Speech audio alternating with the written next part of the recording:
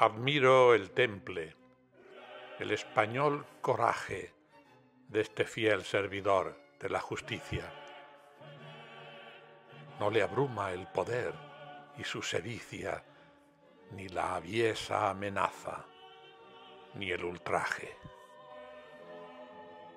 Esbirros del sanchismo, infame tropa de la venal esclavizada prensa, sin tregua, cada día, a ropa insisten en su despiadada ofensa.